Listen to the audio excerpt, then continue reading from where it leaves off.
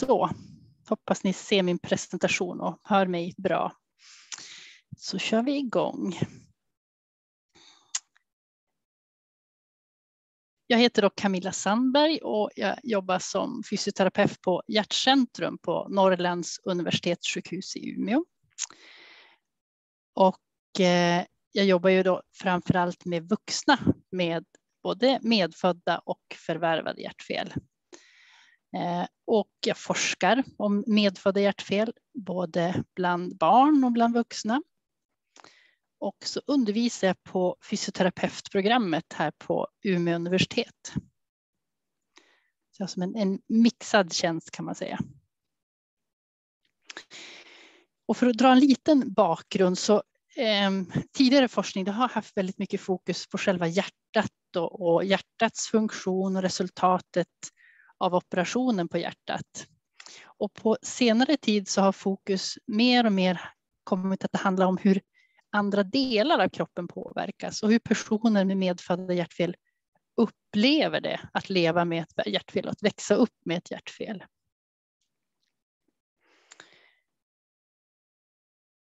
Och en fråga som vi i vår forskargrupp har ställt oss det är har personer med medfödda hjärtfel samma kroppssammansättning som hjärtfriska jämnåriga?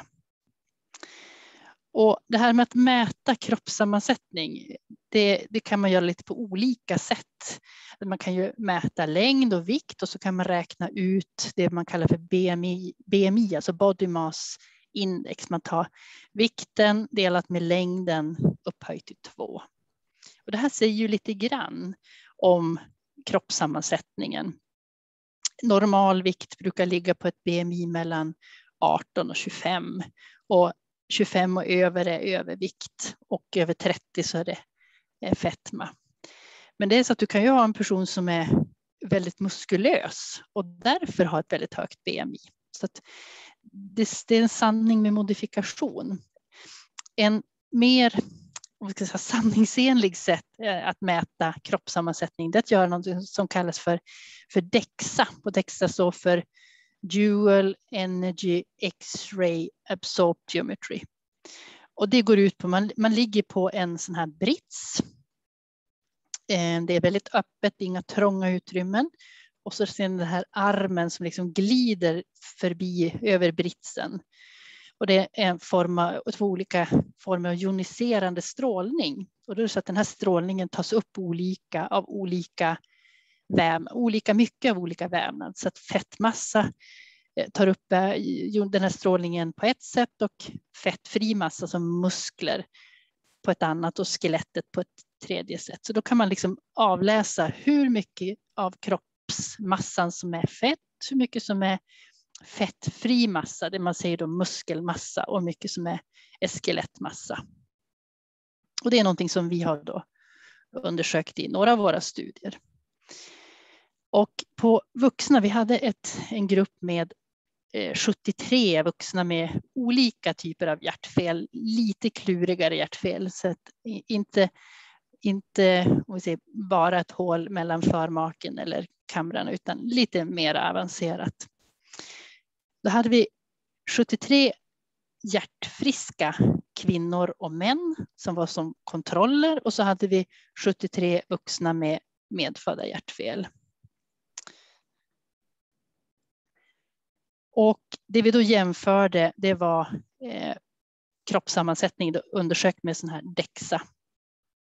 Och det visade sig att kvinnorna, de var kortare, kvinnorna med medfödda hjärtfel var kortare Eh, och hade mindre muskelmassa jämfört med de eh, kvinnliga kontrollpersonerna. Männen, de var både kortare och hade ett, ett lägre BMI. De var kortare och vägde mindre eh, och hade mindre muskelmassa jämfört med de manliga kontrollerna. Eh, sen när det gällde skelett alltså benmassa. Benmassa det är hur mycket, alltså vikten då. Och bendensitet är hur tjockt benet är. Undersökte vi också med den här DEXA-undersökningen. Eh, och då visade det sig att vuxna med medfödda hjärtfel hade en lägre benmassa, så mindre eh, mängd benmassa. Och lägre bendensitet, alltså bentäthet. Jämfört med de hjärtfriska kontrollerna. Eh, Lena Hansson, hon är dietist och tidigare var hon doktorand, men nu har hon disputerat här för ett år sedan tror jag att det är.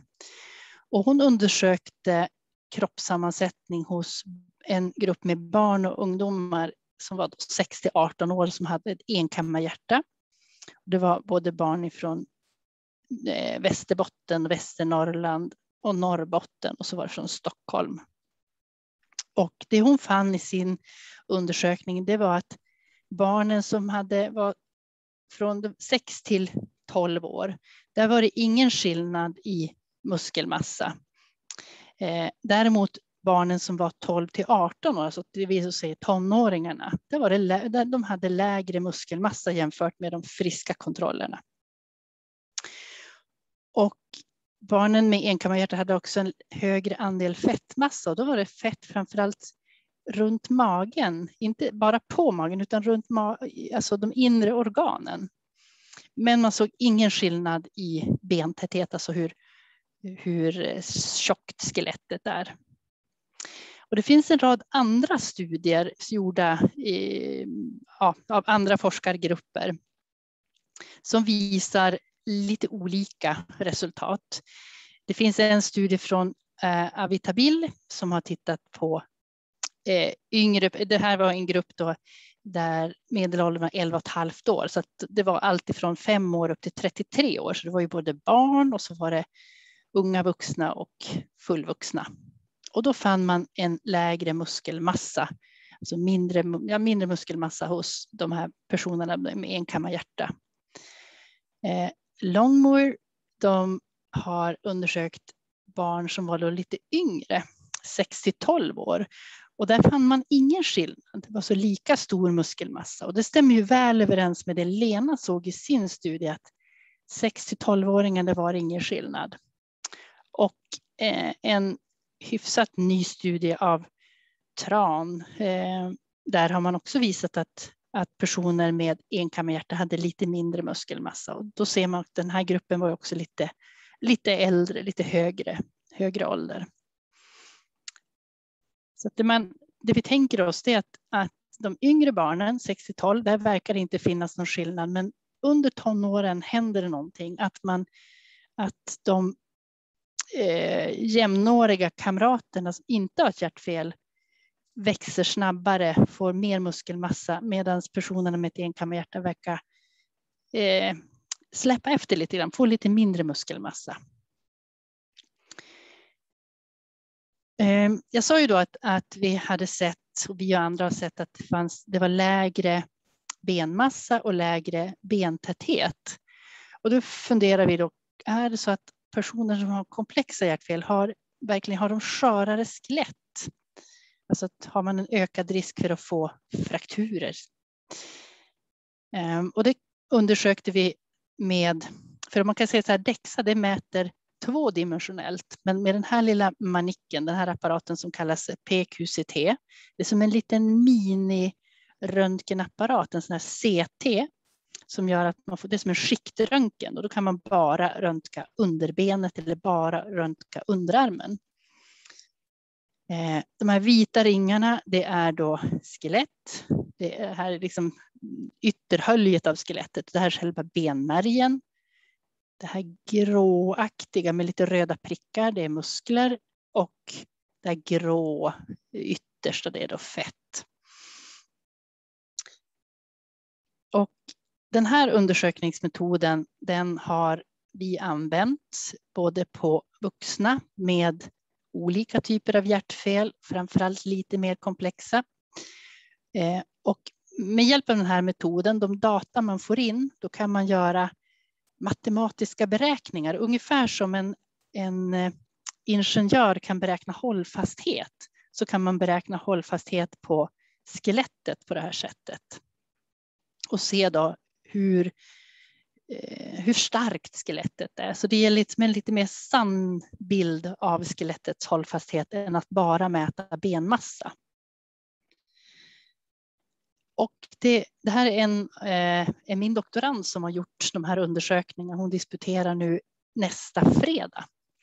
Eh, så om ni vill så finns det möjlighet att delta via Zoom och lyssna på den disputationen. Då.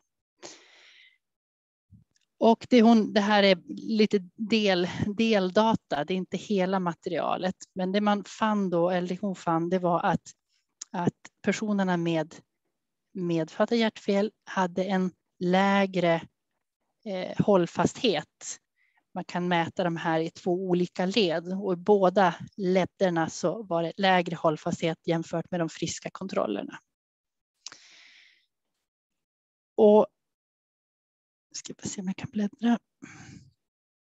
Vi har även gjort en undersökning, Annika Rydberg, en av våra eh, eller professor inom barnkardiologi eh, och det är hon som har lett den här studien där vi samlade in data på 19 barn och ungdomar med enkammarhjärta. De var 6 till 18 år och gjorde den här undersökningen och då fann vi ingen skillnad i bentäthet, lite lägre hållfasthet och då jämförde vi med referensdata. Vi fick ett referensdatasätt från USA.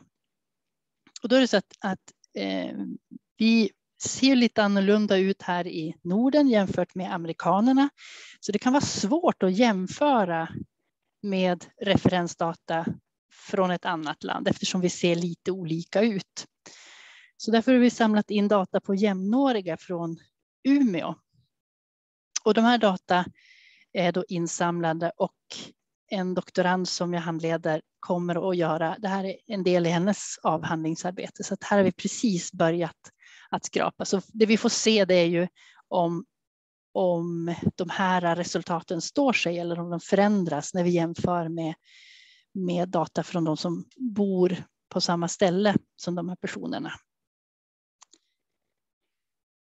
Och det här är en studie som eh, forskargruppen i Göteborg, eh, Linda Aschman Krönström och medarbetare har gjort. Där man jämfört data från det svenska registret på medfödda hjärtfel och eh, oh, nu tappar jag bort vad det andra registret man har, man har tittat på förekomst av frakturer, det måste vara ett diagnosregister, förekomst av frakturer i olika grupper. Och det man ser, eh, här har vi då eh, grupper med fallostetrad, transpositioner och enkammarhjärta. Och den här svarta linjen, det är då kontrollpersoner och den här prickade linjen, det är eh, då personerna med medfödda hjärtfel.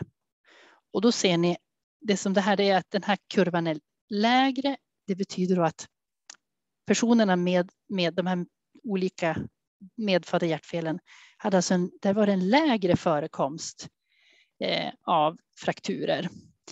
Och när man tittade på personer som hade koarktation, eh, förmakseptumdefekt och kammarseptumdefekt så var det ingen skillnad i förekomst av frakturer. Nu var det här ett relativt ungt material så att om man tänker sig att, att eh, man i unga år har en lite lägre bentäthet och kanske en lite lägre hållfasthet så hinner det liksom inte visa någonting. Så skillnaden kanske kommer högre upp i åldern när man blir ännu äldre. Men det vet vi alltså ingenting om. Men här såg man ingen skillnad eller kanske till och med lägre risk för frakturer. En annan fråga som vi har ställt oss och andra har ställt, oss, eh, ställt sig naturligtvis, det är då om personer med medfödda hjärtfel är mindre fysiskt aktiva. Man kan tänka sig att har man ett hjärtfel att man kanske inte är lika fysiskt aktiv. Eh, och det finns ju rekommendationer, både nationella och internationella rekommendationer om, om hur fysiskt aktiv man bör vara för att förebygga ohälsa. Och när det gäller barn och ungdomar som är mellan 6 och 17 år så är rekommendationen att man ska vara minst fysiskt aktiv minst 60 minuter per dag.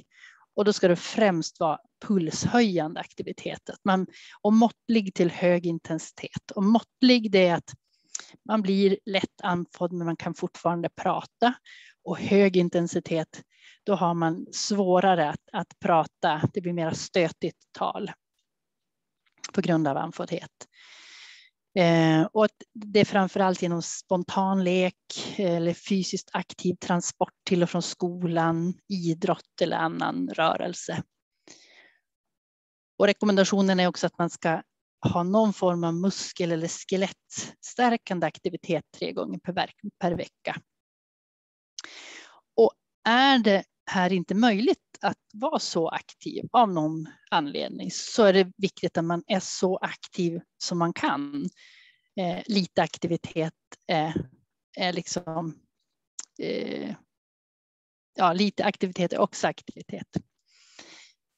När det gäller vuxna som då är 18 år och uppåt så är rekommendationen för att förebygga ohälsa att man ska vara fysiskt aktiv 150 till 300 minuter per vecka på minst måttlig intensitet.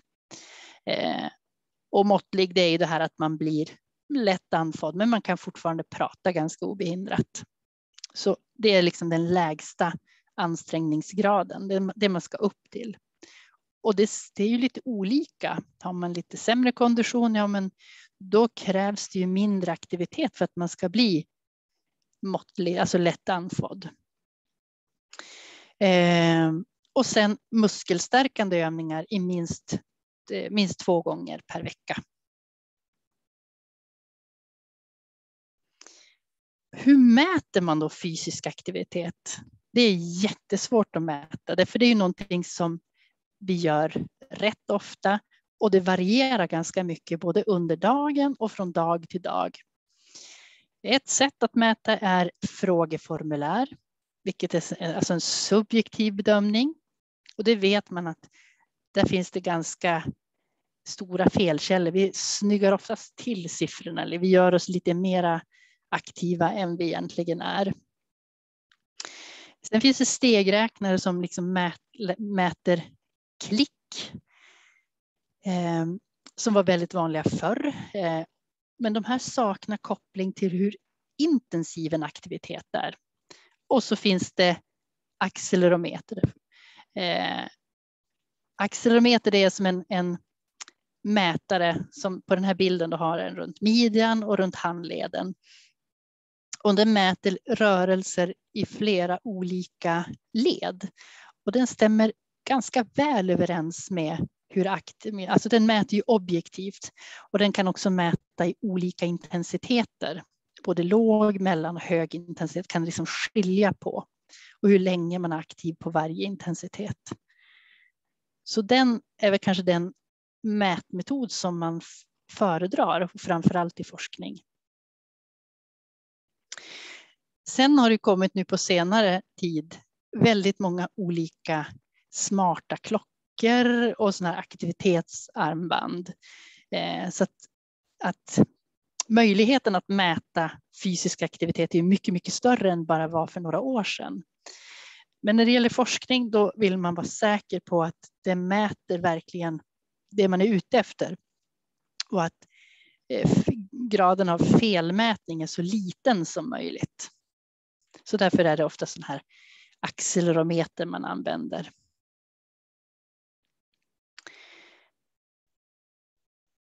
Det finns eh, två svenska studier som eh, har använt sig av de här eh, sådana här accelerometer. Dels är det Eva Hedlund Rylander från Stockholm och hennes grupp. Eh, den grupp hon forskade i när hon var doktorand eh, som har undersökt 30 barn med enkammarhjärta och 25 eh, kontrollpersoner som var då eh, kompisar till exempel. Och de använde en, en mätare som heter Actigraf och det är den som finns på bilden här. Och vi undersökte eh, 74 personer med olika typer av hjärtfel, alltifrån förmaksseptumdefekter till enkammarhjärta var en mix av olika hjärtfel och 74 kontrollpersoner med en, en accelerometer som heter ActiHeart som man då fick både hjärtfrekvens och så fick man kroppsrörelse. Och vad visade då våra resultat? Jo, att personer med medfödda hjärtfel var faktiskt lika aktiva som eh, hjärtfriska kontrollpersoner. Det som eh, Eva och, och, hennes grupp, det de fann, det var att de hjärtfriska barnen, alltså de hjärtfriska kontrollerna i den här barnstudien, de hade mer idrottsaktiviteter på sin fritid. Men, men när man läste av de här aktivitetsmätarna, då var de lika aktiva. Men att när man hade skrivit ner på så, så tränade de hjärtfriska barnen, hade mera sådana aktiviteter på sin fritid. Eh, så vi vet att, att när man jämför så, så verkar det vara lika, man är lika aktiv. Men det som är bekymmersamt det är ju att ungefär hälften av den friska eller hjärtfriska vuxna befolkningen är inte tillräckligt aktiva för att uppnå rekommendationerna. Så hälften av personer med medfödda hjärtfel är inte heller tillräckligt aktiva för att förebygga ohälsa. Och det behöver vi på något sätt förändra överlag, både i Sverige och i många av världens länder. Minska stillasittandet och, och bli mer fysiskt aktiva.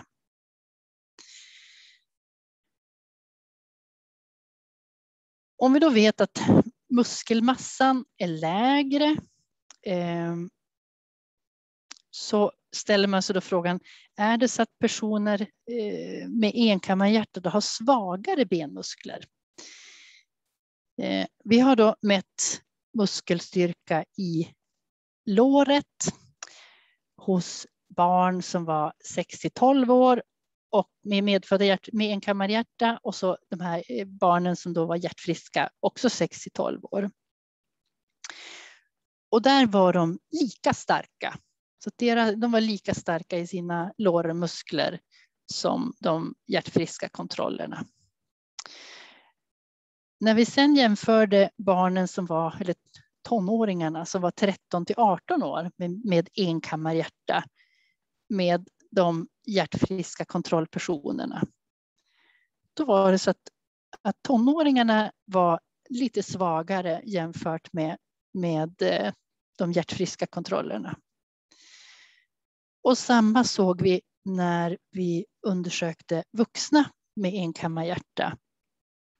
Och de friska kontrollerna var också mindre starka. Och på de vuxna har vi mätt både lårstyrka och armstyrka. Och det, det var lika på båda muskelgrupperna.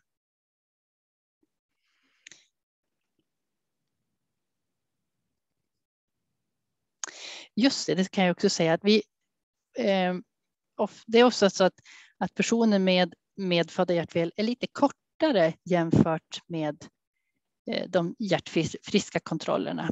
Och när man eh, det här är ju liksom absolut muskelstyrka. Om man sätter muskelstyrkan i relation till, till muskelmassan eh, så är man lika stark. Och, och, det vi då funderar på är det så att, att eh, om muskeln, alltså muskelstyrkan per muskelenhet är lika stark så borde det betyda att träningsbarheten är lika god. Så jag kommer tillbaka till det. Ehm, vi ställde oss också frågan om personer med medfödda hjärtfel och då var det olika typer av hjärtfel har effekt av konditionsträning.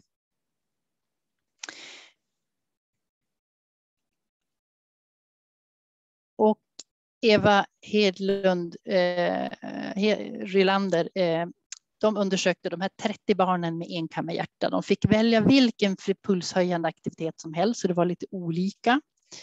Och så jämförde de med de här 25 hjärtfriska kontrollerna. Och det man såg det var att, att eh, de förbättrade sin prestationsförmåga vid ett gångtest. Eh, men de hade en oförändrad maximal prestationsförmåga efter den här träningsperioden. Och vi gjorde en studie där vi hade 26 vuxna. Vi samarbetade, tillsammans, eh, samarbetade med Gurtz-centret i Göteborg på Östra sjukhuset. Och det var intervallträning på motionscyklar hemma som var träningsmetoden. Då. Och där såg vi att syreupptagningsförmågan, alltså konditionen förbättrades när vi följde upp då efter 12 veckor. Och det vi tyckte var lite anmärkningsvärt, det var att framför allt eh, inte den här maximala, den förbättrades, men den submaximala, den här uthålligheten, hur länge man orkade cykla på en, en lite lägre belastning, den förbättrades markant, vilket vi tycker var jätteintressant.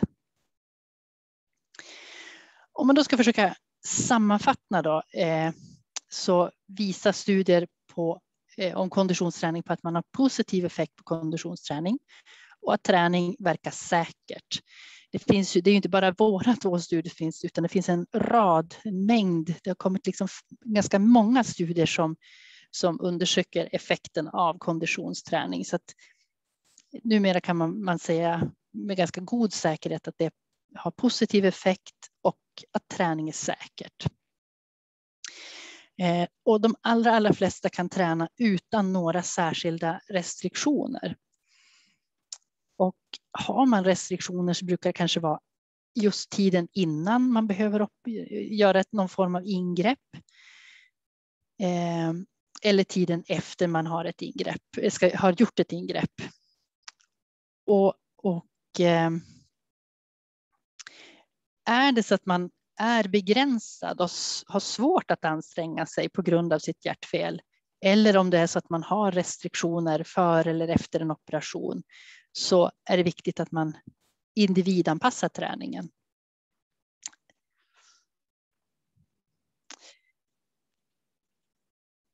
Och det här med att, att eh, få hjälp att individanpassa träning, det kommer tillbaka till.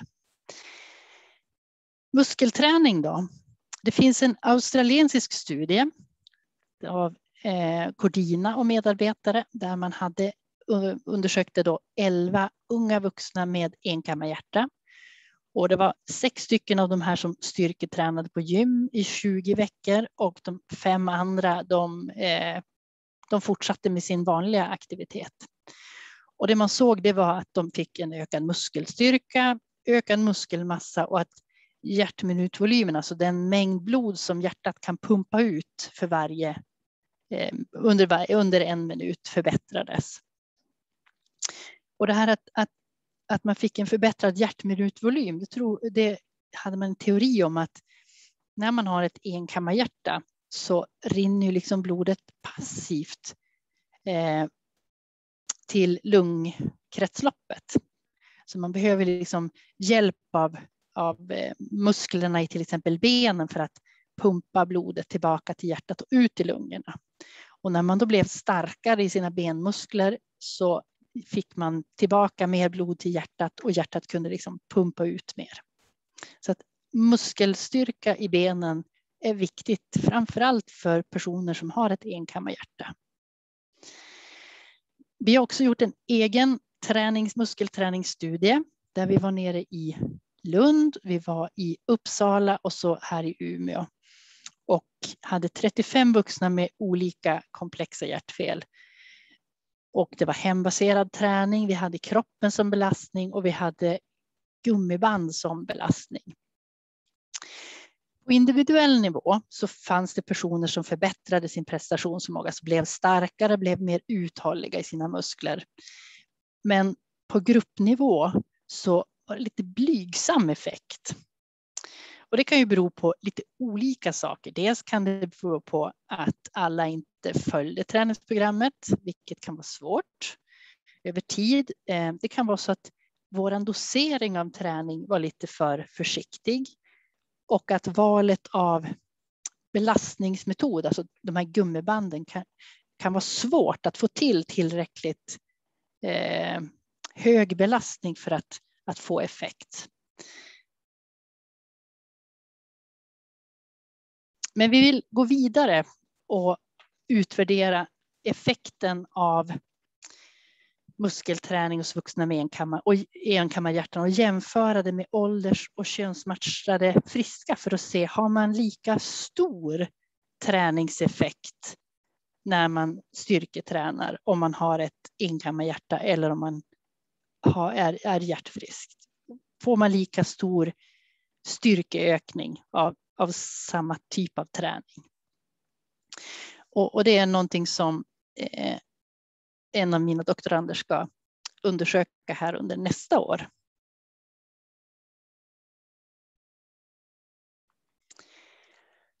En annan studie som är igång, det är en studie som heter Approach. Eh, och den här Approach, den, den första delen av studien, den gick, oh, nu kommer jag inte ihåg, det för några år sedan. Och det var då enkäter som riktade sig till personer med medfödda hjärtfel, där man undersökte eh, upplevelsen av att, att leva med ett medfött hjärtfel. Det här föll väldigt väl ut, så då kommer, nu kommer del två. Man har inkluderat fler länder och fler centra, alltså sjukhus där man eh, är duktiga på, eh, kan mycket om medfödda hjärtfel. I början så var det nog 88 länder som skulle delta, men precis när studien skulle dra igång så, så kom pandemin och en del centra drog sig ur. I Sverige så är vi fem centra som deltar. Det är Umeå, det är Uppsala, Stockholm, Lund och Göteborg. Och den första delen i den här del två, den, den handlar om upplevelsen och erfarenheter av att leva med ett medfött hjärtfel. Sen har vi, och den riktar sig till alla i princip som har ett medfött hjärtfel och är över 18 år. Sen har vi en del, del två i den här del två som riktar sig till de som är 40 år och äldre och har ett lite mer komplext medfött hjärtfel. Och förutom de här eh, ja, men upplevelsen av erfarenheter av att leva med ett hjärtfel så undersöker man bland annat muskelstyrka och i Sverige har vi lagt till undersökning av kroppssammansättning med sån här DEXA. Och vi kommer att slutföra datainsamlingen här under eh, ja, senare delen av hösten. Och det, vi, det som är, eh, är, intressant är just det här att tack vare de medicinska och kirurgiska framstegen så blir ju personer som har ett medfött hjärtfel blir ju äldre och äldre. Och då vill vi undersöka hur ser det ut då om man är 40 år och äldre. Eh, just det här med muskelfunktion och kroppssammansättning, förutom en, en rad andra eh, variabler som vi vill undersöka. Så det kommer vi återkomma med längre fram. Både resultat från den internationella studien såväl som det vi undersöker här i Sverige. Ehm, det finns en eh, i Europa så har vi en europeisk kardiologförening. Vi har en svensk kardiologförening och så har vi en europeisk kardiologförening. Och den europeiska kardiologföreningen den har som arbetsgrupper. Och i fjol i augusti-september, månadsskiftet, så släppte man guidelines, alltså riktlinjer för träning hos personer med hjärt-kärlsjukdomar. Och det här är ett helt, helt unikt dokument. Här har liksom experterna inom de olika fälten, till exempel kranskärlssjukdom, hjärtsvikt, eh, medfödda hjärtfel och, och en, en, rad olika hjärt, hjärt-kärlsjukdomar satt sig ner, tittat på vad finns det för vetenskapliga bevis för att, för att träning eh, och vilken typ av träning man ska använda sig av vid de olika Eh, hjärt-kärlsjukdomarna. Och när man då tittar på just medfödda hjärtfel så det man har kommit fram till det är att, att deltagande i regelbunden träning på medelintensiv ansträngnings, ansträngningsnivå ska rekommenderas till alla individer med medfödda hjärtfel. Och att man ska diskutera om träning och ge individuella träningsråd till alla personer med medfödda hjärtfel vid varje besök. Så det här är, ganska, det här är liksom experterna i Europa som har satt sig ner och sagt så här ska det vara. Och man lutar sig också på eh, vetenskaplig evidens, alltså vetenskapliga eh, bevis. Och man har, nu har jag inte plockat med det här, men, men man kan gradera och det här är liksom tung evidens och det här är någonting som man verkligen trycker på. Så vi får hoppas att, att vi i Sverige också kan få till det här, att det inte bara eh, att vi får till det på alla centra och att det blir lika fint utbyggt och strukturerat som det är i Göteborg. Det här är en figur som jag brukar visa när jag föreläser och jag tänkte jag ska bara berätta vad det är för någonting. På den här eh, kolumnen, där har vi olika typer av hjärtfel. KOA det är korrektation, TOF det är fallå, fontan det är enkammarhjärta. Den här högst upp det är om man har en, en sån här transposition som man har opererat med en, en switch, att man har bytt plats på kroppspulsådern och lungpulsådern. Det som man, de här blåa eh, grejerna, det är då kondition eller syreupptagning eller kondition kan vi säga. Här borta har vi det som är 100 procent av förväntat, det som är liksom normalvärde. Och sen kan man ju ligga lite under och man kan ligga lite över och det anses ändå som normalt. Och det man ser här är att, att de flesta med ett medfött hjärtfel har lite lägre än, eller har lägre än normal kondition. Och ju mer komplext hjärtfelet är, då blir den här äh, nedsättningen i kondition mer tydlig. Och det här innebär ju att har man ett enkammarhjärta, men då, då, då kostar ju liksom vardagsaktiviteter på mer än om man har ett enklare hjärtfel. Och det här med vad som är medelintensiv och högintensiv träning påverkas ju av vilken kondition man har. Så har man lägre kondition så krävs det mindre för att komma upp i det som är medelintensiv jämfört med om man har enklare hjärtfel. Det är det här med individanpassad träning kommer in också. Vad är det då som kan begränsa eh, konditionen? Dels kan det vara hjärtats pumpförmåga, alltså hur mycket blod som hjärtat kan pumpa ut. Och hur, hög, hur mycket pulsen stiger under ansträngning. Eh, och det här ser lite olika ut olika, vid olika hjärtfel. Men har man en, en lite nedsatt slagvolym eh, och det är också väldigt vanligt att, att pulsstegringen inte är lika hög som om man inte har ett hjärtfel. Så ger det det som kallas för minskad hjärtminutvolym, alltså den volym blod som hjärtat kan pumpa ut under en minut. Så det, det påverkar konditionen muskelfunktionen, alltså hur uthålliga och hur starka våra muskler är, det påverkar också konditionen. Metabolism, det är eh, alltså musklernas Eh, förmåga att omsätta syre. Det har vi sett i studier som vi har gjort att, att det går lite långsammare och efter avslutat arbete så tar det lite längre tid att återhämta sig. Så det kan också begränsa eh, konditionen. Man kan ha påverkan på sin lungfunktion. Har man opererat flera gånger så påverkar det lungorna, de blir lite stelare. Eh, man kan ha lite mindre lungor om det är så att man hade ett lägre lungblodflöde när man var liten, innan operationen, eh, när man var liten. Så det påverkar också konditionen.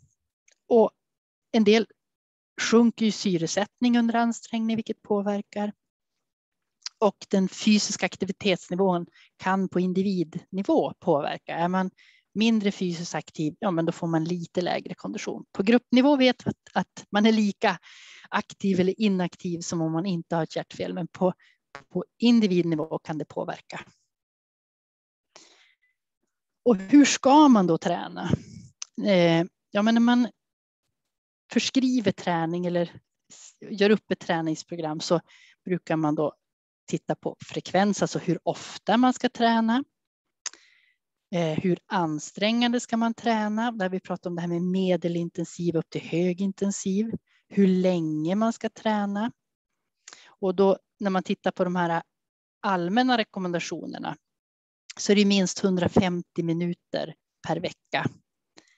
Och vilken typ av aktivitet? Ja, det bör vara både kondition och muskelstärkande aktivitet. Det finns lite olika principer. Eh, jag går bara igenom dem lite snabbt. Det ena är individualitetsprincipen, alltså det är lite olika på hur vi svarar på träning. Det skiljer från individ till individ. Den här principen specificitet, det är att vi tränar, det vi tränar på, det är det vi blir bra på. Styrketränar vi så blir vi starkare. Vi får inte jättemycket bättre kondition. Så vill man få bättre kondition, ja, då är det konditionen vi ska träna. Och är det så att man inte tränar, ja men då tappar man det. Så att det, det är liksom färskvara. Och sen så behövs det viss överbelastning för att man ska få effekt. Alltså man ska överbelasta lite, lite grann. Eh, eller inte, man ska överbelasta sin förmåga lite grann, men det är ju med måtta. Eh, jag tror jag hoppar. Förlåt, jag avbryter dig Camilla, men det är tre minuter. Ja, men jag tror jag hoppar över dem. Tack för, för varningen Linus. Jag tror vi hoppar över de där bitarna. Eh, som jag sa tidigare, så det här med restriktioner, alltså majoriteten kan träna utan några som helst restriktioner. Och restriktioner kan finnas till exempel inför en operation eller efter en operation. Och om det finns restriktionerna så är man eller blir man informerad om det. Så man behöver liksom inte eh, gå omkring och tro att man har, utan har man det då vet man om det. Och man försöker också vara väldigt tydlig med att, att eh, man ska träna fritt. Och hur ska jag veta vad som är lagom eller lämpligt för mig? Ja, dels har vi de här nationella riktlinjerna som vi alla ska uppnå, de här 150 till 300 minuterna på medelintensiv eller minst medelintensiv aktivitetsnivå. Sen så finns ju våra gudsmottagningar eller ACHD-mottagningar som är specialistmottagningarna då på några av våra större sjukhus som man kan, eh, där man går då på regelbundna kontroller. Så där kan man få hjälp. Vid läkarbesöket gör man ju arbetsprov, man gör EKG, man gör ultraljud och magnetröntgen och allt det här kan liksom ligga till grund för hur, hur eh, hårt man kan, om det finns begränsningar och hur hårt man kan träna. Sen tycker jag att det är, borde vara en, en rättighet att alla får träffa en fysioterapeut i samband med, eh, kanske inte varje läkarbesök, men åtminstone några av läkarbesöken för att göra konditionstest, testa sin muskelfunktion med styrka och uthållighet och att man får följa över tid. Eh, att det räcker inte med ett besök utan att man kan följa över tid hur det utvecklar sig och att man får hjälp med individanpassad träning. Så att det skräddarsys just för den kondition och den muskelstyrka och muskeluthållighet som jag har. Och alla kan träna utifrån sina egna förutsättningar. Det gäller bara att hitta en träningsform som du tycker om. För att det är den träningen som blir av, det är den träningen som ger effekt. Och ta hjälp av en fysioterapeut för att få en sån här individanpassad träning. Jag tror jag stoppar där. Har vi några frågor? Hoppar över dit.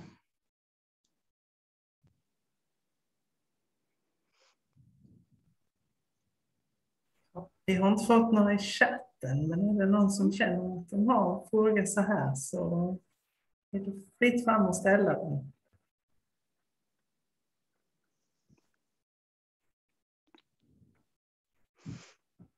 Det skiljer sig lite, jag kan, jag kan, eh, det skiljer sig lite grann eh, på de allra, allra flesta gudsmottagningarna som finns så finns det fysioterapeuter som kan hjälpa till med de här testerna och att skapa individanpassade träningsprogram.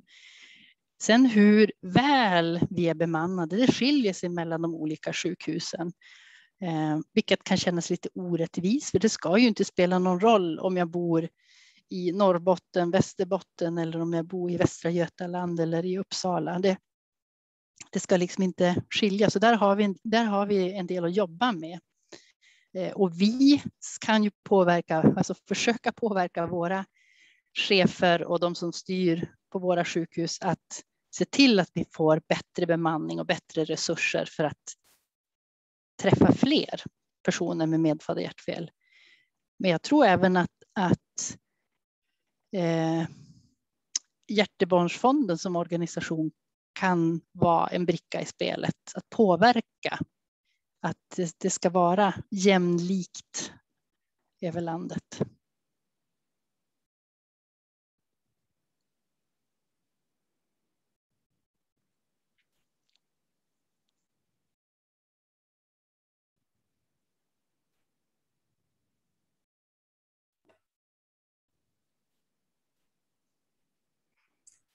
Då har vi fått in en fråga här. Eh, Mm. Och då leder den så här. Jag tänker på muskelmassan. Finns det en fysiologisk förklaring till varför deras muskelmassa är sämre jämfört med kontrollgruppen?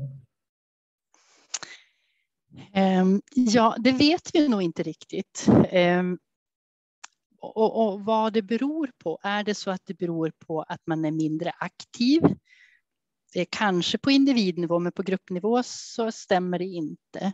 Ehm, det kan också vara så att eh, beroende på vilken typ av hjärtfel man har, om man har ett enkammarhjärta så har man ju ett annor, en annorlunda cirkulation, alltså en annorlunda blodcirkulation, eh, vilket kan påverka eh, flödet ut i musklerna och att det kan påverka hur mycket muskelmassa man utvecklar. Vi har egentligen inga tydliga svar, utan det här är någonting vi, vi vill forska mer på. Men, men teorier finns.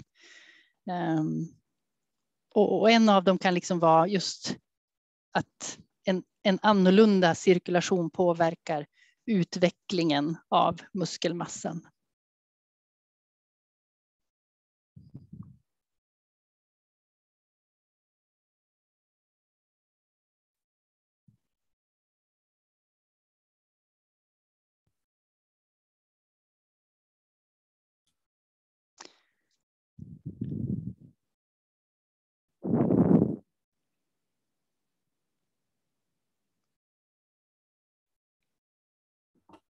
Mm.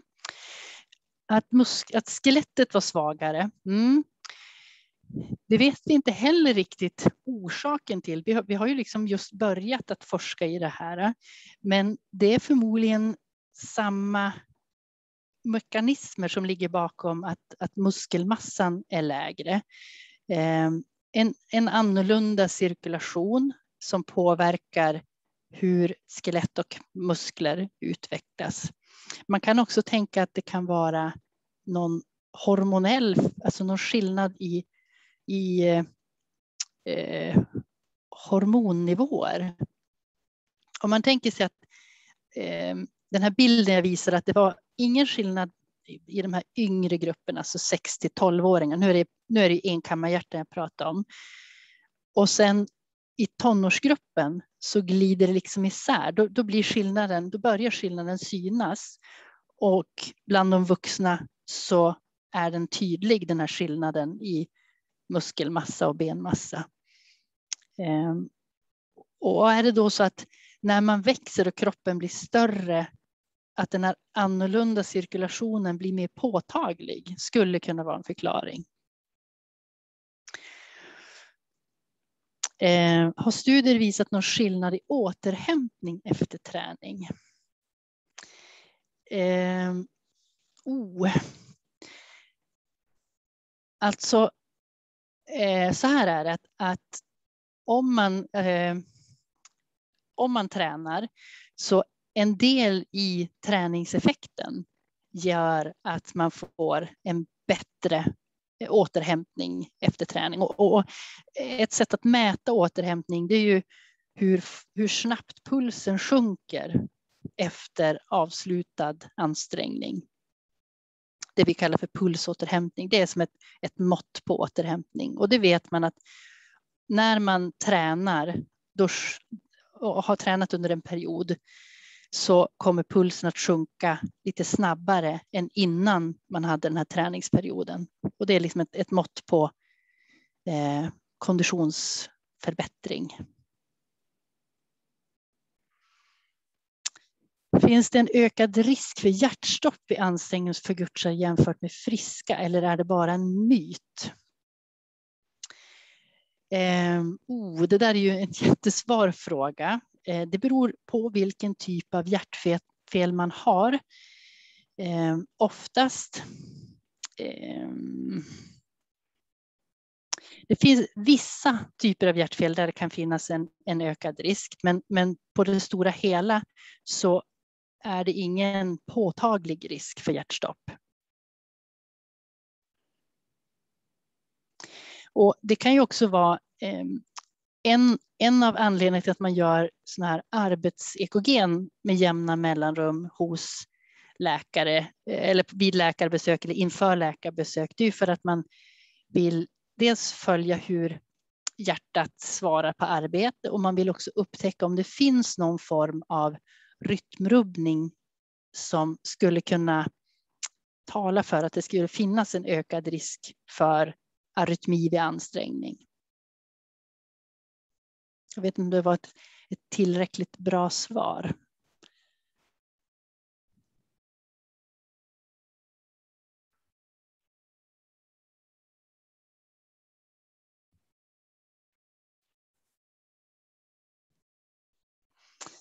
Kan man tänka att personer med medfödda hjärtfel till och med behöver träna mer styrketräning och skelettbelastande träning för att undvika ökad risk för frakturer när de blir äldre? Finns det forskning på om det finns en ökad risk för osteoporosfrakturer när man blir äldre? Jättebra fråga. Ehm, det, jag tror så här, eh, nu, nu, nu är det tror, Eh, jag tror att det, det, är jätteviktigt att man tränar eh, och att man ser till att man tränar både styrka och kondition. Ehm, vi har ju, vi har ju bara kunnat se att det finns Eh, att skelettet är lite tunnare, att det finns lägre hållfasthet. Men precis som den här gruppen i Göteborg eh, som Linda Aschman och Krönström skrev, alltså det, den artikeln de har publicerat, så var det ju inte någon ökad frakturrisk. Men det var en ganska ung befolkning. Så jag tror vi får återkomma. Vi, ska ju, vi undersöker ju nu gruppen 40 år och äldre som har medfödda hjärtfel, eh, för vi vet inte hur det ser ut. Jag tror inte att det finns någon påtaglig risk för osteoporosfrakturer ehm, vid medfödda hjärtfel. Det tror jag inte. Det har man inte kunnat liksom, eh, se så långt.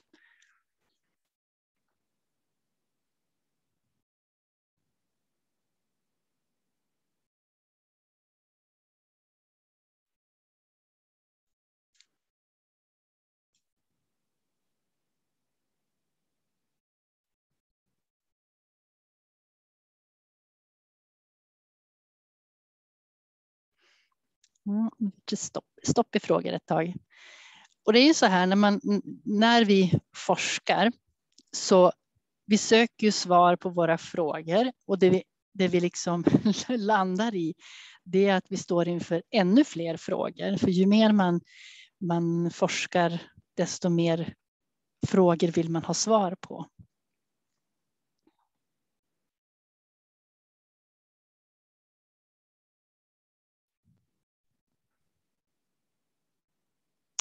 Och det finns, eh, jag tror det är någon norska studie när man har undersökt barn med enkammarhjärta och där, där fann man att barn med enkammarhjärta hade lägre D-vitamin, alltså hade lite hade brist på D-vitamin. Um, och D-vitamin är ju viktigt för det här med bennybildning. Um, ehm, och det har även kopplingar till, mus alltså till muskelutveckling. Så där börjar man ge extra D-vitamin. Men här i Sverige så ger vi ju redan lite extra D-vitamin till alla barn och vi har ju tillsatser av D-vitamin i, i mejeriprodukter. Och den här studien som Annika Rydberg och som Lena Hansson som är dietist, där tittade man på det här med D-vitamin. Eh, och, och intaget av D-vitamin, det var det ingen skillnad på mellan barnen med enkammarhjärta och de friska. Och man uppnår liksom rekommendationen, men man ligger lite, lite, lite på gränsen till låg halt, alltså eh, när man tar blodprov ligger man i det lite lägre registret men även eh, ändå inom det som är normalt.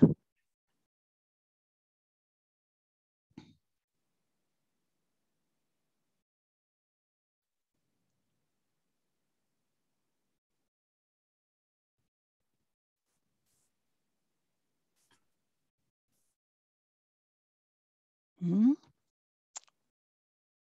Någon som har någon fler fundering? Jo, men här kom det en fråga.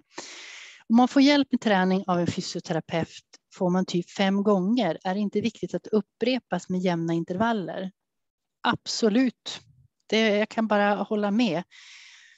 Ehm, det, det som man kan tänka ehm, det är ju att, att man får träffa en fysioterapeut och man får, får göra en sån här bedömning av både kondition, alltså göra ett cykeltest och att man får göra muskeltester, både muskulär uthållighet och muskelstyrka och att man utifrån de resultaten kan skräddarsy ett program. Eh, för det gäller ju också att man hittar övningar eller träningsprogram som, som man tycker är kul. Och sen behöver man få träna under en period och så får man en uppföljning. Sen kan det vara så att man bor väldigt långt från sjukhuset så att det inte det är inte hållbart eh, att åka in till sjukhuset och träna eh, flera gånger i veckan. Utan då kanske man kan träna på vårdcentralen eller på en träningsanläggning som ligger närmare där man bor. Eh, varför blir folk med hjärtfel kortare och vad studien med muskelmassa och benmassa reglerat för då vi är kortare? Ja, jättebra. Det är en superbra eh, fråga. Och det är det här precis som det här som, som min doktorand Karna ska försvara nästa vecka. När man, när man korrigerar för längden så finns det, det kvarstår. Det är inte lika tydlig skillnad, men, men det kvarstår. Och orsaken till varför man blir kortare det har man nog inget riktigt bra svar på, men det, det är väl lite det här vi, alltså det vi funderar på, om den här annorlunda cirkulationen ehm, eh, under tiden när man är liten, att det påverkar tillväxten. Men man har nog inget jättebra svar på varför. Och, och det är ju så att det är inte alla personer med, om vi nu tar ett enkammarhjärta som blir kort det finns ju, det finns ju de som är, är väldigt långa och har ett, ett enkammarhjärta. Men när man tittar på gruppnivå så, så är det lite kortare och det gäller även andra eh, hjärtfel. Och det är framförallt killarna som verkar vara lite kortare. Att skillnaden är tydligare där.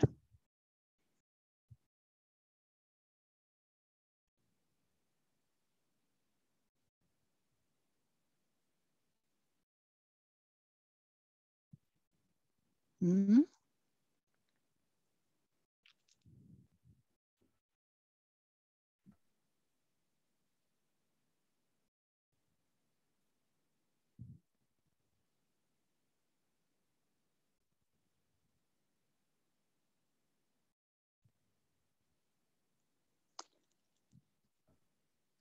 Det verkar vara Är det någon som har... Förlåt, jag hittar inte knappen för att vinka. Har någon mig? Ja, jag hör dig.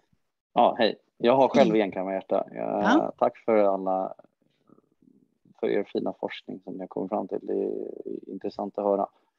Eh, men jag började ju, jag kan ju berätta att jag påbörjade ju eh, individuell träning innan pandemin mm. själv. Och det, då hade jag råd av en fysioterapeut och en, eh, ja, som en egen coach kan man säga. Mm. Och hon gjorde sådana här Eh, typ av tester för mig. Jag måste säga att det funkade faktiskt väldigt bra. Sen kom ju pandemin dessvärre mm. och satte stopp för hela. Eh, men de som är rädda för att träna, jag var ju själv väldigt rädd. Jag är 36 idag mm. och jag har alltid varit känt mig begränsad i vissa grejer och inte vågat. Nej. Men när jag väl och inte tränat heller, för många råd jag hade under min uppväxt var att jag inte skulle göra någon typ av större ansträngning och så. Så gym har varit som så här, det är inget för mig. Nej. Men eh, när jag väl kom dit och, och, kände tryggheten med att ha en terapeut, det är också mm. den grejen, den psykologiska tryggheten som kommer med det, som var väldigt bra, tyckte jag var då kände jag att nu, nu kan jag ta ut svängarna, nu vågar jag, nu får jag stöd, nu är det någon här som övervakar också. Det mm. tror jag, det är en viktig del att titta på också. Eh, Absolut. Eh, och om det är någon som funderar på att börja träna och inte har kommit igång med det så kan jag säga att det, det är väldigt, det gjorde skillnad kände jag. Mm. Jag mådde bättre på många mm. sätt och jag, jag kan vakna upp dagar och ha extrema smärtor i bröstkorgen på grund av flertalet operationer. Mm. Men jag tyckte att jag hade ett bättre och friskare liv eh, när jag tränade. Mm. Och jag ska återbörja det igen. Eh, det har fortfarande varit svårt på grund av pandemin. Men eh, det går. Nu bor jag i mm. Stockholm så det är ju klart fördelaktigt för här finns det ju mottagningar som är närmare än vad ett sjukhus är. Men jag vill mm. bara tillägga det mm, och hoppas att det fanns någon jag kunde peppa med mig med att säga det. Tack för ett jättebra inspel, verkligen. Tack. Och, och jag kan bara hålla med. Alltså, eh, har man då eh, känt sig begränsad, man kanske inte har eh, deltagit av förklarliga skäl i idrottsaktiviteter på fritiden, ehm, så blir man ju Eh, man känner sig inte hemma att kliva in på ett gym. Det är inte så självklart att man vet eh, ja, vilka maskiner man ska träna i och hur man ska träna och hur hårt man ska träna. Så självklart ska man ha, ha eh, individuell coachning av någon som, som kan sin sak. Sen tror jag pandemin har ställt till en hel massa elände. Eh, dels därför att eh, om vi säger, transport transporten till och från jobbet innebär ju fysisk aktivitet. Ehm, och det finns ju också eh, barn och ungdomar där man hållits hemma av sina föräldrar just för att skydda från att bli utsatt för smitta och inte då kunnat delta i idrottsaktiviteter på eh, skola till exempel. Så att jag tror vi har en hel del jobb att sätta folk på banan och bli mer aktiva igen efter pandemin.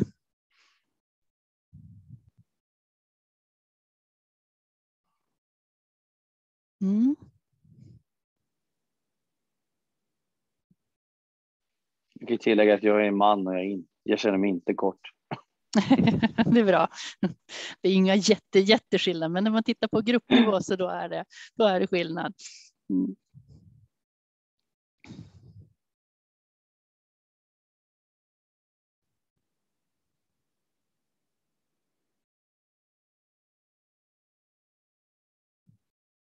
Mm. Har någon fler fundering?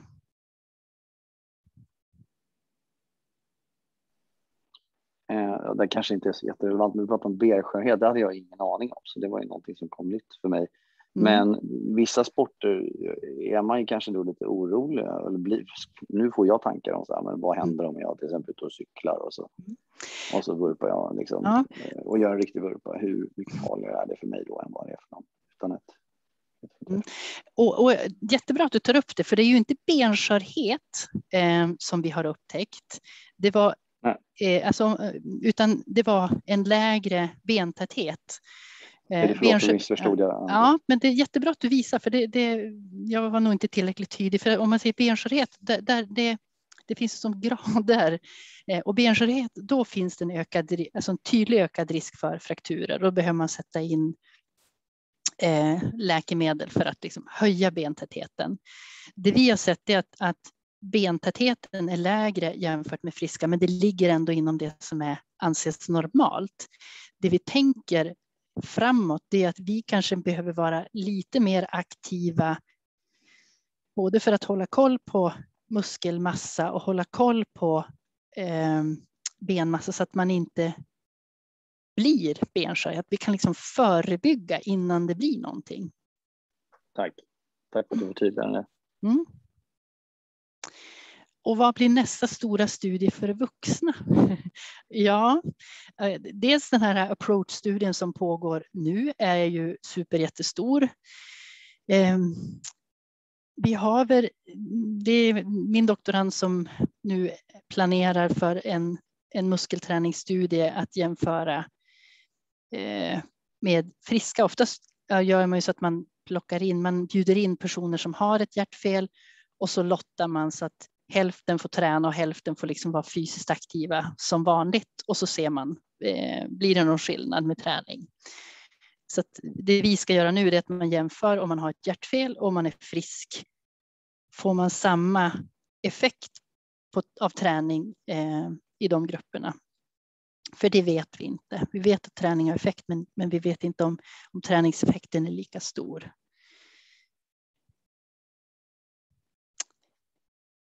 Sen har vi väl tankar och idéer som jag tror att jag kommer att ta kontakt med, med Hjärtebarnsfonden eh, lite längre fram, så jag ska, jag ska inte avslöja allt för mycket här för att diskutera vad, vad vi skulle kunna göra tillsammans. Jo, men jag kan säga så här är det. Det pågår en, en barnstudie där man skickar ut eh, aktivitets, eh, såna här accelerometrar eh, till barn med olika typer av hjärtfel. Så får man bära den där, hjärt, eh, nej, bära den där aktivitetsmätaren och skicka tillbaka den eh, och så läser man av och så gör, skickar man ut till till barn utan hjärtfel i ungefär samma, eller i samma ålder som kommer från ungefär samma område. Och den borde börja närma sig slutfas om inte pandemin har satt stopp. Och det, det är då, jag tror Mats Börjesson är involverad i det där, i Göteborg. Så det, det ska bli spännande att se.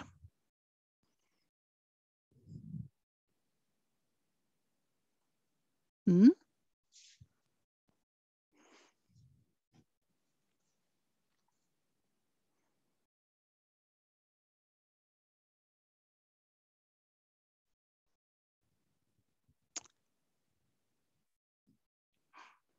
Mm, tack för alla jättefina kommentarer. Det värmer verkligen.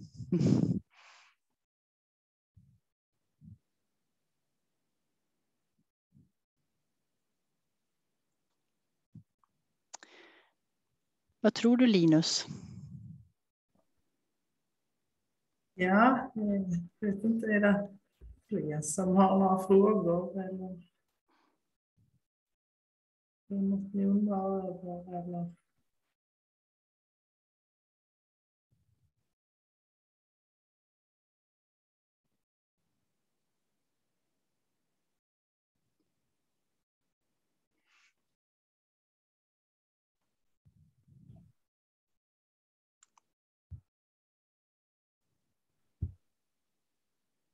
Vet inte vad du säger Camilla. Om vi ska ja, jag, tänker att, jag tror det. Om vi inte ja. har några fler funderingar så tror jag vi rundar av.